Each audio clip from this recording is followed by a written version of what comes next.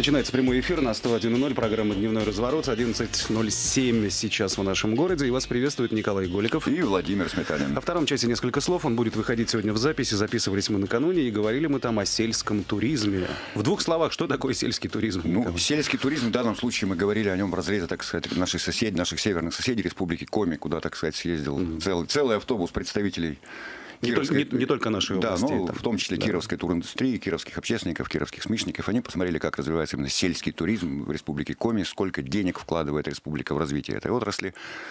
По-хорошему позавидовали нашим северным соседям. Вот. И, И, по- и- и- высказали надежду, что и у нас что-то в этом да, и, отношении ну, как бы делаться. мы как выяснили в ходе нашего разговора, что сельский туризм у нас вообще-то есть. Он вообще-то есть, но как бы вот нуждается в некотором толчке, в некоторой поддержке. И шансов на то, что он разовьется у нас не хуже, чем у соседей, довольно-таки много. Но вообще интересная была программа. Может быть, сразу зададим вопрос руководителю Федерации профсоюзов Кировской области Роману Бересневу. Может быть, профсоюзы тоже могут как-то поучаствовать в развитии этой темы. Здравствуйте, Роман Александрович. Да. Добрый день. Ну, я думаю, что там сказать не как э, руководитель профсоюзных организаций, но я сразу свой Стабенск вспомнил, и поэтому в общем и целом я считаю, что сельский туризм у нас есть.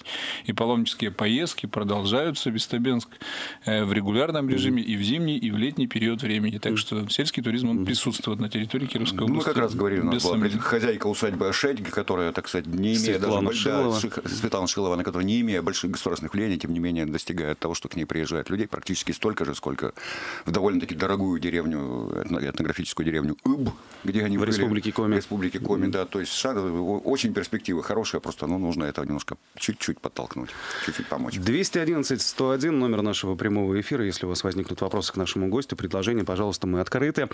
Несколько тем у нас сегодня для разговора. Ну и, конечно же, мы в первую очередь хотим обсудить новость, ну и событие, конечно, которое еще было в середине ноября. 16 ноября в нашем городе состоялось подписание трехстороннего соглашения о повышении минимального размера оплаты труда до прожиточного минимума Для, работников вне бюджетной сферы. Да. Хором сказали. Да. Собственно, Роман Александрович, это одна из сторон И мне кажется, В одна из, подписании движ- одна из движущих сторон. Одна, одна из так, да. движущих сторон. Давайте объясним, разъясним и побеседуем как раз-таки, что, что Но это мы все были значит. инициатором э, вот э, данного решения. Э, Такая практика сегодня складывается повсеместно по территории Российской Федерации. Ну, вот, в частности, в прошлом эфире мы с вами рассуждали на тему конференции, и вот как раз ульяновские коллеги выступали, у них такое тоже решение есть. У них установлено 12 тысяч рублей. Это со следующего года или уже? С 1 января 2018 18 года, года, да. тоже они э, там э, такое решение приняло, приняли. Э, Решения такие приняты в Татарстане, такие решения приняты и в регионах гораздо меньших там по численности, то есть в Республике Мариэл такое соглашение действует. То есть это нормальная, естественная практика работы региональных властей совместно с профсоюзами, с работодателями по решению задач, которые в большей степени, конечно, направлены на то, чтобы работники получали больший уровень заработной платы. Поэтому эта практика у нас, к сожалению, не складывалась э, до э, текущего года. И, э, конечно, там благодарен правительству области что, э, и объединению работодателей, что они нас поддержали в этом э, начинании. И э, через решение трехсторонней комиссии мы такой, вот, такой документ подготовили и 16 ноября подписали. Документ будет действовать с 1 января 2018 года. Речь идет о том, что средний размер заработной платы для работников вне бюджетных отраслей с 1 января должен равняться 10 159 рублям. То есть не менее. Не менее. Не менее. Почему это именно? средний по организации или Нет, вообще не средняя средняя. зарплата Это, каждого, это каждого минимальная? Минимальная, зарплата. да. Это э, зарплата каждого работника, который работает на полную ставку, на полный рабочий день, э, полный месяц. Вот у него должно получаться не меньше вот этой суммы средств. Мгм. Почему именно такая сумма? Э, не круглая. Здесь э, брался, вот вы сами сказали, величина прожиточного минимума. Это, э, ну, такая есть методика расчетная. Э, Его считают в Кировской области по второму кварталу, вот последняя цифра у нас была, по второму кварталу была вот эта цифра утверждена для трудоспособного населения. 10 159 рублей. Но еще раз говорю, это расчетный путь. Профсоюзы не сильно с этой методикой согласны, потому что считаем, что это, конечно, очень минимальный как бы прожиточный минимум.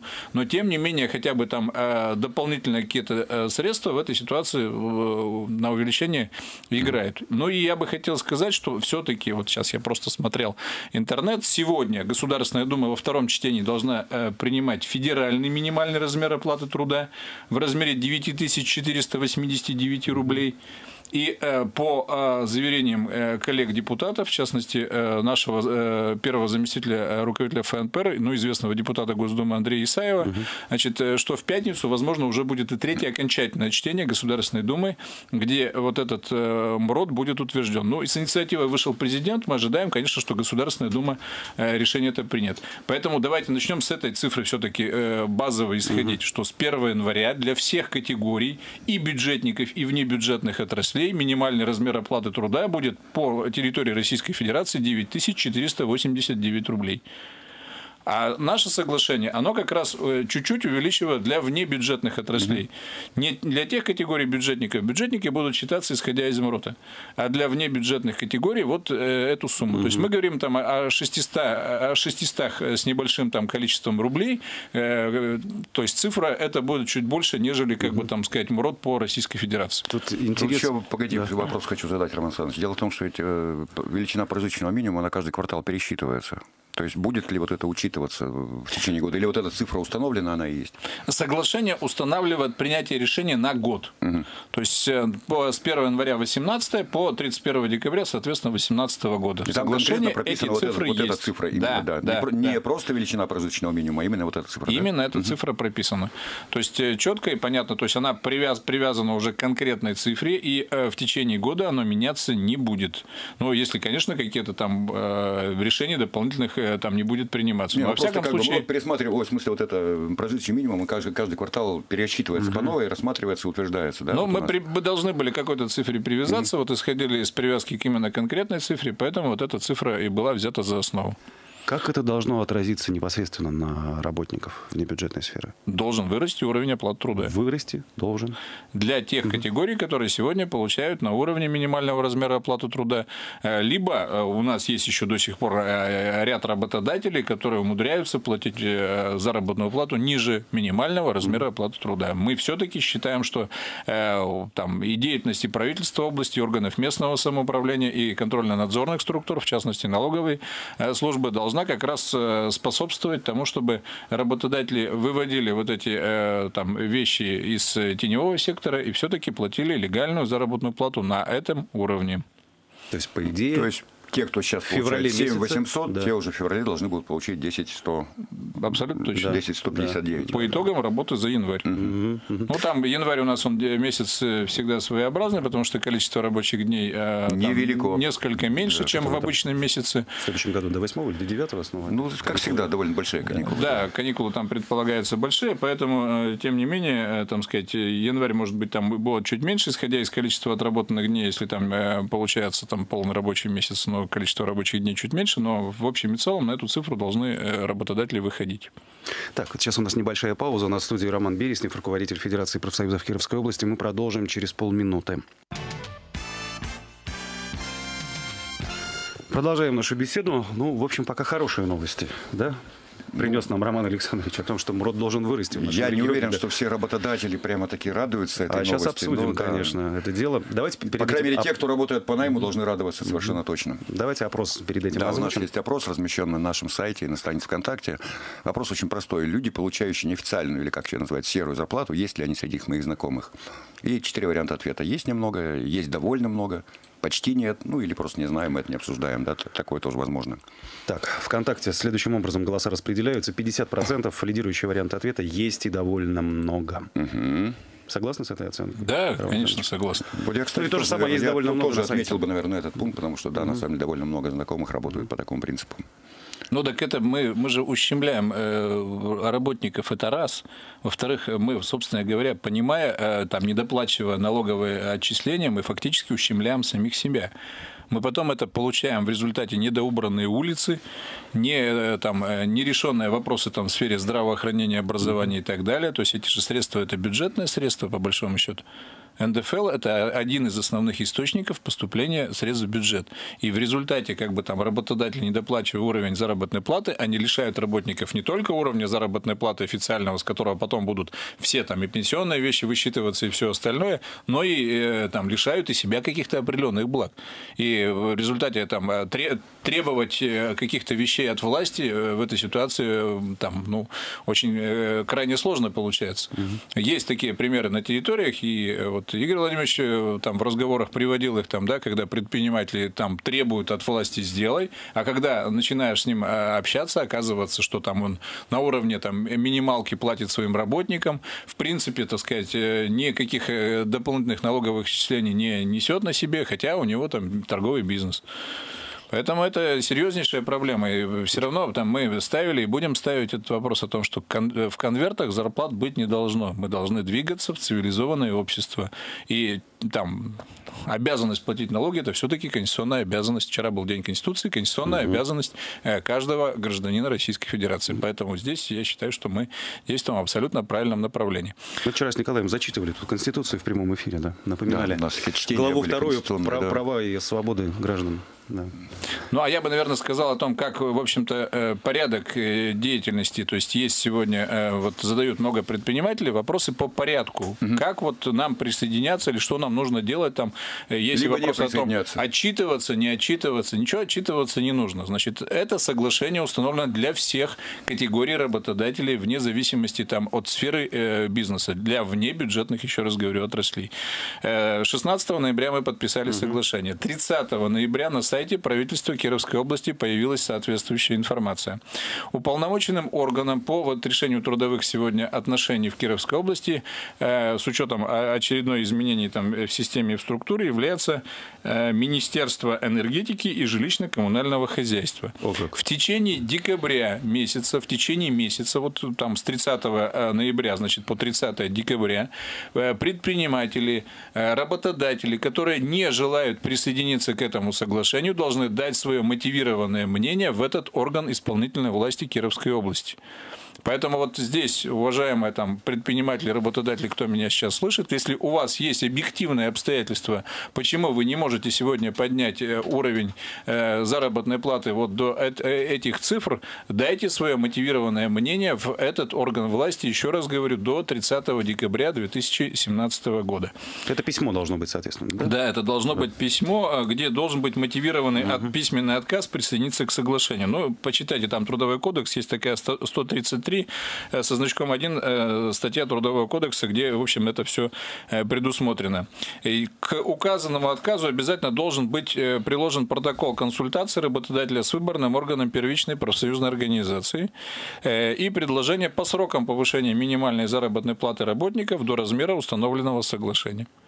Ага. То есть, когда вы присоединитесь к этому соглашению, то есть все равно это движение должно быть неуклонным и однозначным, поэтому здесь выразите свою позицию. Ну, э, там, мы все знаем, какой год был для работников сельского хозяйства.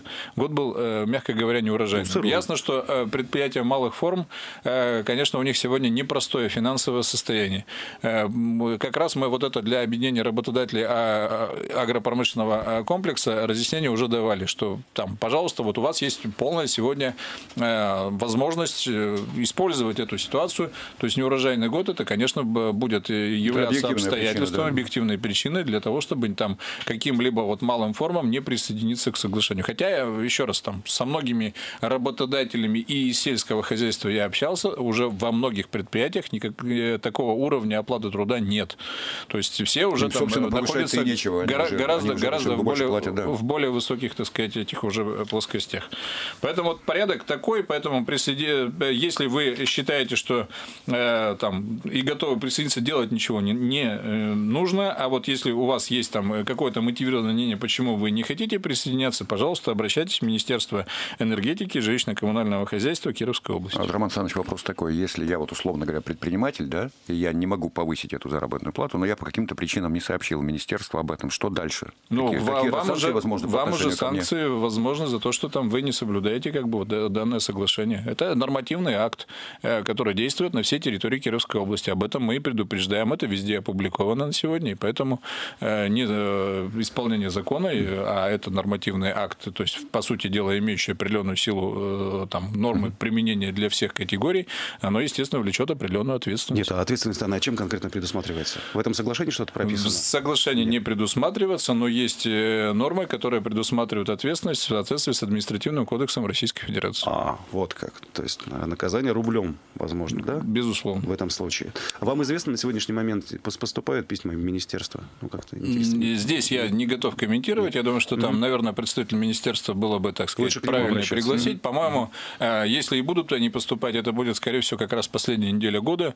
Э, все, так сказать, подумают, задумаются э, на эту тематику, э, что делать. Сейчас информационная активная работа ведется в районах Кировской области. Вот буквально на пороге вашего офиса я встретился с главой одного из районов, и мы как раз обсуждали, я ему разъяснял порядок вот присоединения либо не присоединения к данному mm-hmm. соглашению. То есть они интересуются живо, к нам много идет обращений, но пока какого-то такого вала информации в этом отношении mm-hmm. нет. Но я вот знаю, что Почта России начала консультации, у них уровень оплаты труда для почтальонов не сильно высок, они уже начали консультации с областной нашей организацией, mm-hmm. профсоюза работников связи, как раз вот по э, тому, как они будут исполнять данное Но, соглашение. Кстати, зарплата... И там нет еще момент такой вот есть, что надо мотивированный отказ писать и согласованный с первичной профсоюзной организацией, а если нет на предприятии? Ну, если нет, то э, здесь не предусматривает какое-то там иное мнение, но было бы неплохо хотя бы с коллективом эту тему обсудить, то есть хотя бы там какой-то протокол встречи там, mm-hmm. с коллективом. Ребят, мы не, вам не можем повысить, потому что вот такие объективные обстоятельства, коллектив говорит, ну ладно, давайте там пока мы не повышать не будем, mm-hmm. ну, документом это будет э, рассмотрен как минимум э, в министерстве и учтен во внимание, принято во внимание. Работники, видимо, подписи какие-то должны свои поставить. Ну, конечно, да, конечно. Да. Ну, по поводу Почты России, мне известно, сколько населения получают. Три с половиной, по-моему, тысяч рублей. Ну, низкие уровни оплаты труда, да. там 3,5 это, наверное, там все-таки не уровень заработной платы. Это если и уровень заработной платы, то не на полную ставку, потому что... Ну, не все, на полную ставку. Да, да, вот да. эти работодатели, они, как правило, все-таки там традиционно соблюдают э, законодательство, и там на, но у них уровень оплаты действительно там всегда был приближен э, к минимальному размеру оплаты труда. И сейчас повышение федерального МРОТ и плюс еще соглашение, конечно, создают для них определенные э, там сложности, но тем не менее, давайте скажем, там, да, проанализируем ситуацию, ситуацию, э, примем решение, допустим, что там, э, данный работодатель с 1 июля 2018 года присоединится в полном объеме к соглашению. Угу. Возражать никто это не будет. Да? То есть сегодня объективные обстоятельства нужно проанализировать, там год завершить, там, получить какие-то финансовые результаты, угу. и потом уже там, принять необходимые решения.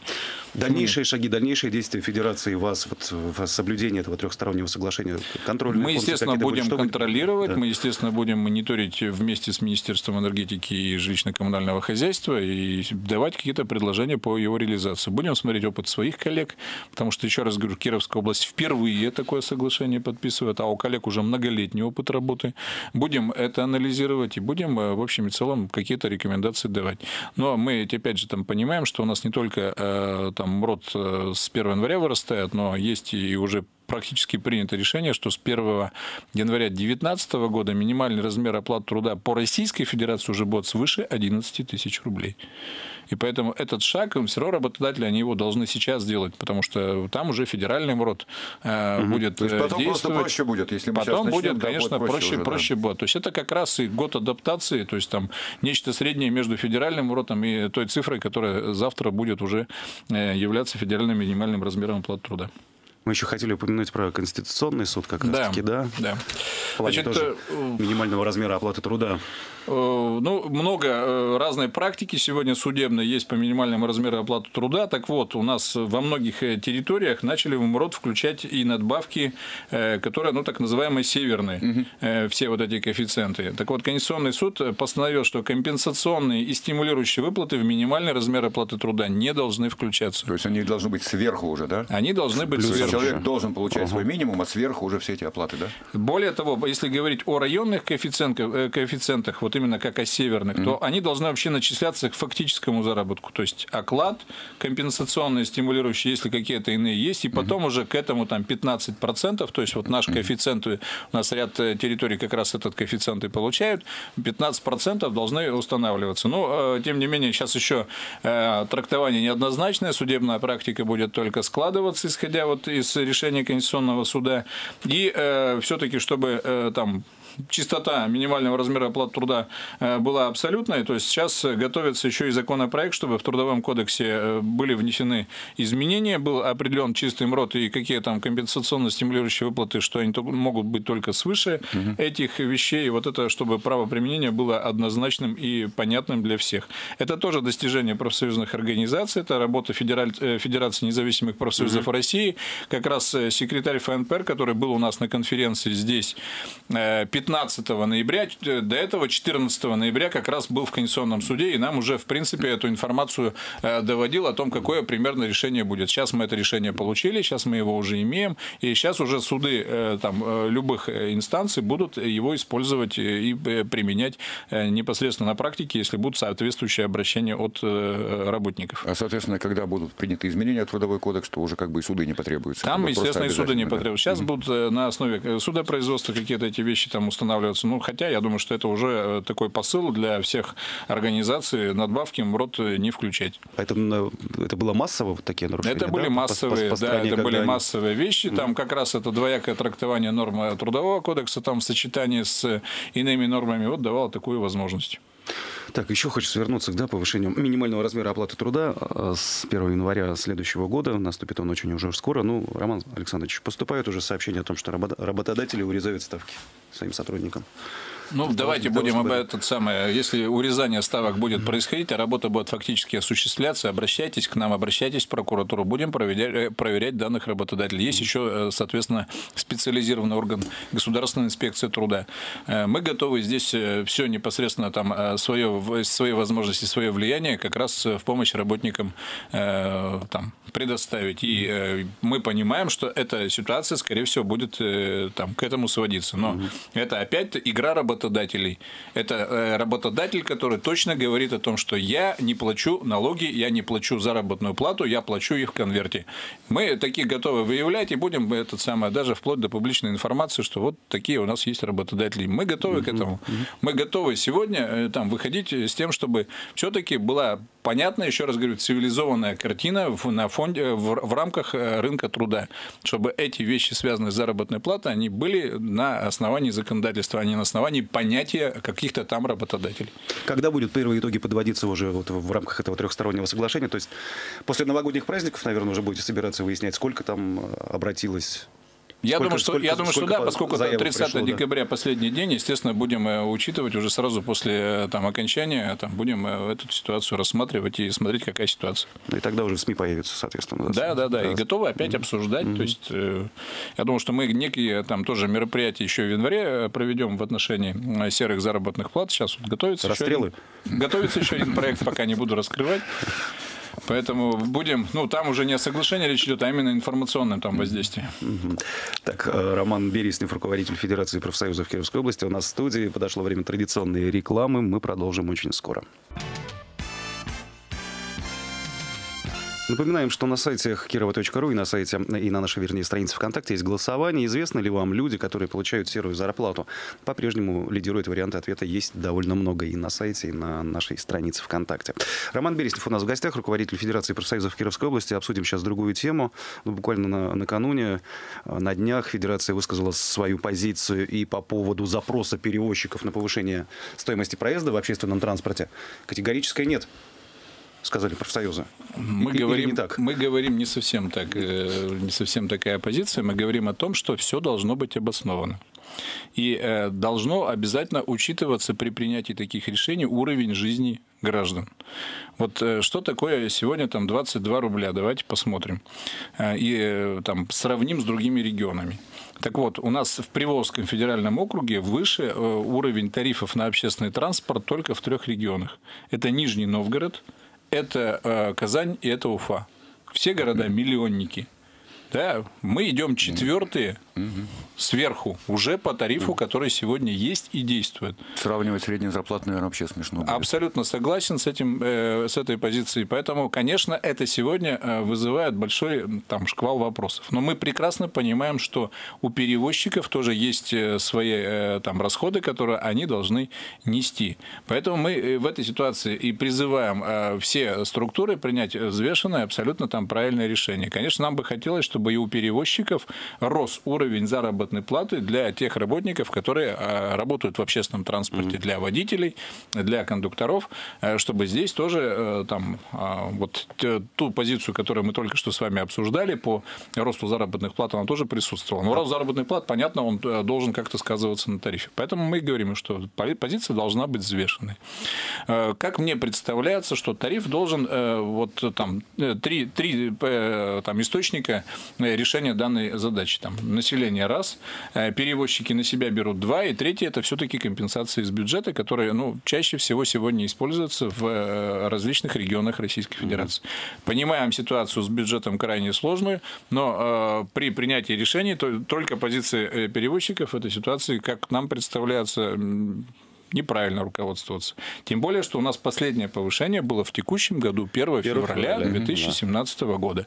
Ну, там Поэтому... есть срок, по-моему, не чаще, не, чаще, не чаще раз в год, по-моему, могут пересматриваться. Да? Ну, абсолютно. Они как раз и при, это претендуют на следующий год, но угу. э, те цифры, которые предложены, это поднять цену на проезд в автобусах до 31-32 рублей, а в троллейбусах до 33 рублей, э, для нас представляется абсолютно э, там, неправильно. 5 рублей с километра. Да, и это вот э, высказывание высказываем озабоченность. Это в полтора раза получается примерно, да, повышение в среднем? Ну, ну, ну что, ли, что, любопытно... 46% процентов ну, и 53, да. Что любопытно, Роман Александрович, когда вы еще не были руководителем Федерации профсоюзов, в прошлом году они просили 35 рублей. Ну, в этом, в этом году, ну, там, видимо, принцип такой, проси больше. Да, да, проси принцип там такой есть. Ясно, что там сейчас будет рассматриваться экспертным советом региональной службы по тарифам, но экспертный совет, да и региональная служба по тарифам действуют в рамках методик, которые там, в общем-то, определяют там себестоимость пое... там, проезда э, конкретную. Ясно, что за этот промежуток времени подросли цены на э, там, бензин и дизельное топливо, там, да, и, конечно, там уровень заработных плат должен тоже подрастать. Есть какой-то определенный там коэффициент инфляции и все остальное, можно там расчетным методом как угодно это все делать, но тем не менее мы считаем, что для Кировской области, для города Кирова э, эти э, сегодня тарифы являются неприемлемыми. И поэтому нам бы хотелось, чтобы, э, конечно, стоимость общественного, проезда в общественном транспорте пока не возрастала. То есть, как бы вообще, наверное, считаете, не, не, не то, что Сейчас точно не тот, не тот да? момент, да. когда там поднимать цены на общественный транспорт. Однозначно. Ага. А есть, кстати, профсоюз работников общественного транспорта? Ну, есть нас... Э, профсоюз, который у нас объединяет mm-hmm. работников, в принципе, транспорта и дорожного хозяйства. Mm-hmm. Да, такой профсоюз есть, и работа проводится. Ну, вот часть, часть работников автотранспортных предприятий у нас входит в профсоюз жизнеобеспечения, например, в том числе. То есть, mm-hmm. кто-то в этот, кто-то в этот. Mm-hmm. Так что профсоюзные организации в этом отношении есть. Ну, и там все-таки мы понимаем, что там, кроме частных перевозок, у нас все-таки на рынке действуют еще перевозчики с муниципальным участием, там, в форме ОАО ОАО там, и там каких-то иных государственным участием э, форм, там, да. муниципальным, да. Пассажир, Поэтому... Киров Пассажир Автотранс с государственным участием Киров Пассажир Автотранс, там государственное участие, да, с этим абсолютно согласен. Поэтому здесь я бы тоже в, в этом отношении посмотрел и эту возможность органов э, государственной и муниципальной власти с точки зрения решения вот этих вопросов, э, поскольку, еще раз говорю, что там объективная данность показывает, конечно, что там тариф должен возрастать. Но, наверное, тарифы должны быть разные. Это экономически обоснованный тариф, это одна цифра, там, да, и тариф для населения это должна быть все-таки другая цифра. А разница тарифов, ну, здесь уже решение надо принимать. Кем она должна компенсироваться, каким образом. Поэтому вот позиция наша э, такая, все-таки внимательно сегодня ситуацию изучить и э, максимально мы бы обратились э, во все органы власти, все-таки принять решение, удовлетворяющее там, интересы граждан города Кирова, там, жителей города Кирова и Кировской области. Вообще Сейчас... забавная ситуация. Смотри, значит, профсоюзы предложили поднять как бы минимальный уровень оплаты труда до 10 тысяч, там 159 рублей. Транспортные предприятия, узнав об этом, естественно, в тариф закладывают предстоящее на следующий год повышение заработной платы. Говорят, мы повысим тариф, а профсоюзы говорят, нет, а тарифы повышать не надо. Сто- стоимость Ну, еще раз говорю, да, что да. там э, мы не- не- нет такой позиции, что точно там, да. Я, я почему и говорю, что все-таки есть экономический обоснованный тариф и тариф для населения. Вот надо вот эти вещи там э, учитывать и изыскивать средства все-таки для компенсации вот э, перевозчикам э, экономического тарифа, да, и э, тарифа для населения, чтобы вот это, эти затраты э, там э, бюджетные, там э, бюджеты разных уровней могли брать на себя. Мы об этом сегодня говорим. Понимаем, еще раз говорю, что там это сложность э, с бюджетом и э, там э, 2018 года будет очень серьезно и по областному бюджету, и по муниципальным бюджетам. Но, тем не менее, какое-то здесь взвешенное решение надо все равно принимать, чтобы э, учит- учитывались все э, стороны. И э, сторона перевозчиков, и сторона потребителей, и бюджетные возможности. И еще такой вопрос, смотрите, Роман Александрович. Всякий раз, когда повышается цена на проезд, ну, цена проезда повышается, речь идет о том, что это необходимо для того, чтобы повысить качество перевозок, там, обновление делать какого-то транспорта. Ну, Вот я не знаю, я что-то вот не заметил с февральского повышения, чтобы что-то где-то изменилось. Ну А- вот, вот если вы внимательно читали наше обращение, вот я его цитирую, при этом ежегодное повышение цен на проезд в общественном транспорте, как правило, не влечет за собой существенного повышения качества обслуживания или замену устаревшего парка автобусов и То есть троллейбусов. не я один это заметил. Ну, Мы они- об этом регулярно говорим. И на трехсторонних комиссиях мы этот вопрос поднимали. Мы этот вопрос по качеству транспортного обслуживания нынче обсудили и на областной трехсторонней комиссии, и на городской трехсторонней комиссии. То есть мы везде говорим о том, что там надо э, режим, чтобы был э, грамотный, понятный для населения движение автотранспорта, чтобы они один за, за другим не гонялись, как бы так сказать, и не э, там, устраивали э, там, непонятные ситуации на дорогах. Мы говорим о том, что э, в вечернее время у нас есть районы, из которых э, крайне сложно э, Невозможно. добраться. Невозможно. Там, я сказал, крайне сложно, так помягче, да, невозможно Раз добраться. Смотришь на этот сайт ЦДСовский и видишь, что надо либо час, пустота. стоять, либо час стоять, либо уже такси вызывать. Как, как в этой ситуации там, исходить? Там, я считаю, что есть сегодня все э, возможности для того, чтобы использовать там, и, там, и GPS-навигацию, и э, соответствующее соглашение с перевозчиками для того, чтобы это было качество э, услуг. Ну и, конечно, там надо закладывать однозначно обновление э, парка автобусов и Ну, троллейбусов. новые Это- автобусы это у нас безусловно. появляются в городе, но, конечно, не так, не так активно. Ну, Не Ну, очень так заметно, массово, скажем так, да. Мягко говоря, на, на, чем приходится ездить, просто иногда удивляешься, как оно вообще едет еще. У нас остается буквально 2-3 минуты до конца нашей беседы с Романом Бересневым, руководителем Федерации профсоюзов Кировской области. Практически середина декабря. Давайте, Роман Александрович, подведем некие итоги работы. Вы в должности в этой с середины апреля этого года. Вот какие-то основные моменты отметим. Ну, я пока, честно За говоря, еще не думал месяцы. об основных моментах. Да. Хотя, Ну, год завершается. Хотя у нас как раз подводят, э, через неделю заседание Совета, где мы будем подводить итоги года. Ну, я считаю, что э, сделан э, первый шаг для того, чтобы профсоюзное движение все-таки набирало больше вес сегодня на территории региона. И вот и то соглашение минимальной заработной плате, и вот международную конференцию, которую мы там провели, э, распоряжение правительства, которое вышло по взаимодействию власти и профсоюзов, и даже тот праздник, который, в общем-то, День появился, профсоюзов, День да, профсоюзов Кировской Кировской области, области. это все для- сделано для того, чтобы по- э, там, дать понять, что профсоюз – это сила. И профсоюзы готовы быть сегодня этой силой и готовы развиваться. И мы вот на ближайшем совете как раз и будут обсуждать, как мы должны развиваться, в каком направлении, какие основные там, точки нашего развития будут на 2018 год. Ну и будем надеяться, что э, профсоюзное движение будет э, только расширяться, будет увеличиваться количество организаций, где действуют профсоюзные организации, и мы, естественно, будем выполнять свое главное предназначение – это защищать права э, наших работников. Ну, каковы основные это задачи? Все-таки поделитесь, приоткройте, может быть, тайну. Ну, я еще раз говорю, что там перед- основная задача, да. как была правозащита, так и остается. При этом, как вы видите, мы не смотрим только э, там темы, связанные с уровнем платы труда, мы берем и смежные темы. Э, Если бы брать о тарифах, это все-таки не совсем как бы наша тема, но мы позицию э, высказали как э, массовая общественная организация, потому что идет огромное количество обращений. После вот этого обращения перевозчиков просто там члены профсоюза все начали обращаться в федерацию с тем, чтобы там давайте какую-то позицию формулировать и определять. Поэтому в это, э, это, этому направлению мы будем уделять наибольшее внимание как раз в 2018 году в защите прав э, работников, членов наших профсоюзных Ну, в организаций. том числе условия труда, безопасность труда. Обязательно. Тоже больной вопрос.